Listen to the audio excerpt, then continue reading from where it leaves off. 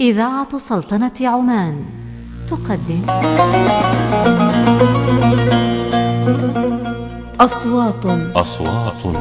تتحدث إلينا. تتحدث إلينا. تعود إلينا. تعود إلينا. موسيقى متلاشية. موسيقى متلاشية. صدى بعيدا. يرجع الصوت. يرجع الصوت.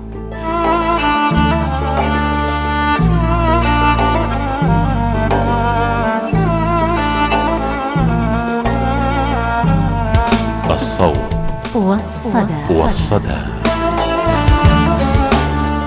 إعداد وتقديم صالح بن علي العامري. تنفيذ منى بنت سالم المسلمية.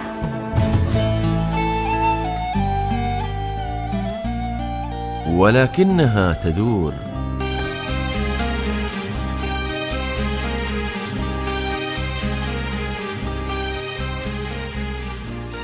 غاليليو غاليلي عالم فلكي وفيلسوف وفيزيائي إيطالي.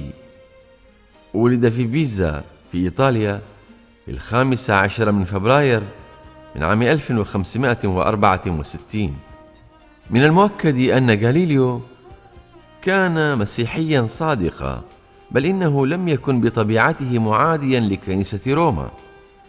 لكن مأساة حياة غاليليو ومأساة خلافه مع الكنيسة كان مصدرها في الأصل خلافه هو مع أفكار وآراء أرسطو في علم الفيزياء والفلك. غني عن البيان أن جمهرة المفكرين والعلماء المعاصرين لا ينكرون ما لأرسطو من فضل في ميدان علوم المنطق وعلوم الحيوان. لكنهم يعتبرون كتابيه في الفيزياء والفلك مأساة كاملة. استطاعت أن توقف نبض البحث العلمي في الفيزياء نحو ألفي عام. لقد كان على كوبرنيكوس وكبلر وغاليليو أن يقفوا ضد أرسطو عندما أكدوا أن الأرض ليست مركز الكون. ولكنها تدور حول نفسها مرة كل يوم وتدور حول الشمس مرة كل عام.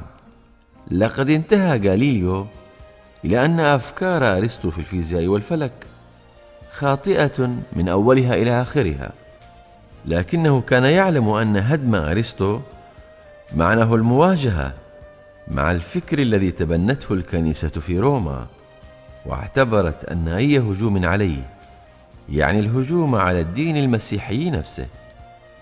لقد كانت نظرية كوبرنيكوس عن الكون ترفض اعتبار الأرض مركزا له وتقول بدوران الأرض حول الشمس. والحقيقة أن غاليليو لم يكن يخاف من التحقير والسخرية فحسب ولكنه كان يخاف أكثر من ذلك من أن يكون مصيره هو مصير برونو. الذي أحرق خلال حياة غاليليو لتمرده على آراء أرسطو ولأنه أشار إلى احتمال وجود حياة على بعض الكواكب الأخرى. الأمر الذي اعتبر بمثابة تهجم على الإنجيل والتوراة.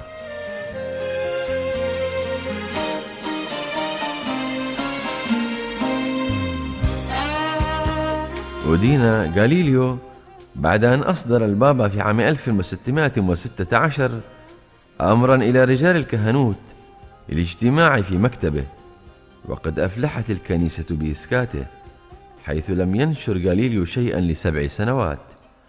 وبعد أن أصدر كتابه الجديد المحاورات ويتضمن نقاشا بين أنصار أرسطو وأنصار كوبرنيكوس عن تصور الكون صدر في نهاية عام 1632 أمر من البابا في روما إلى غاليليو أن يحضر إلى روما ليواجه المحكمة.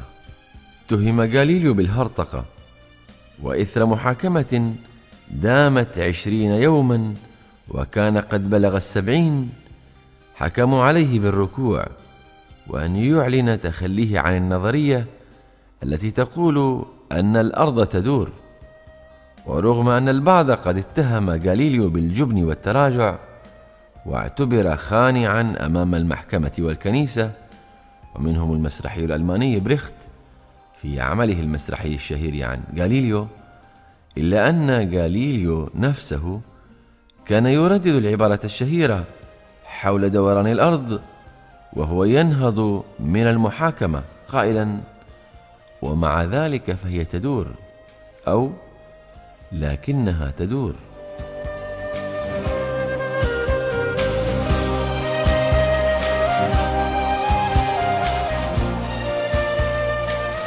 بعد شهور قليلة من السجن في روما أعيد غاليليو إلى فلورنسا حيث ظل معتقلا في منزله حتى مات في الثامن من يناير من عام 1642 ومن الإنصاف لتاريخ غاليليو أن نشير إلى أنه بعد أربعة أشهر من سجنه أرسل نسخة من المحاورات المصادرة إلى ستراسبورغ وطلب أن تنشر ترجمة لاتينية له.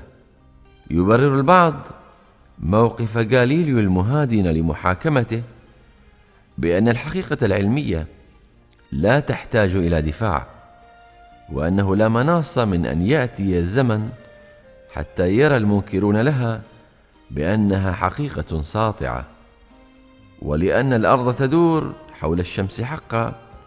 فما الجدوى من إفهام رجال الكهنوت المتعصبين بأنها تدور وبأنها ليست مركز الكون؟ لقد اكتفى غاليليو بأن يهمس أثناء خروجه من المحاكمة الشائنة بالقول ولكنها تدور وقد أثبت العلم بما لا يدع مجالا للشك فداحة تلك المحاكمة وضلال الأكاديميين الكنسيين. يقول الشاعر الألماني ريلكا أيتها الأرض المفجوعة من يستطيع أن يحصي خسائرك؟ لا أحد غير ذلك الذي يواصل نشيده مادحا ذلك القلب الذي ولد كاملا.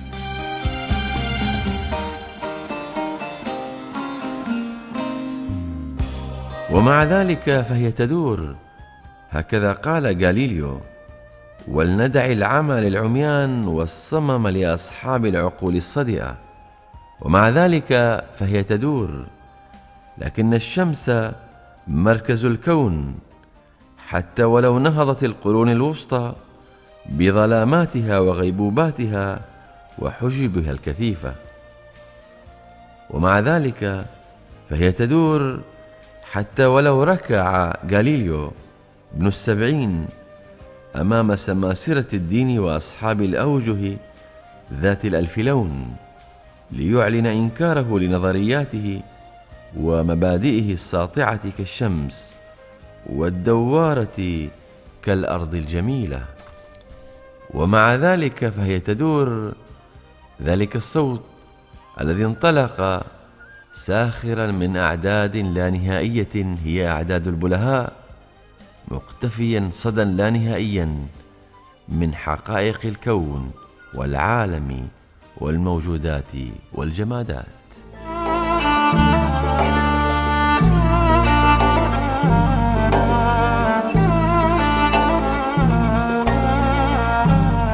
الصوت والصدى. والصدى.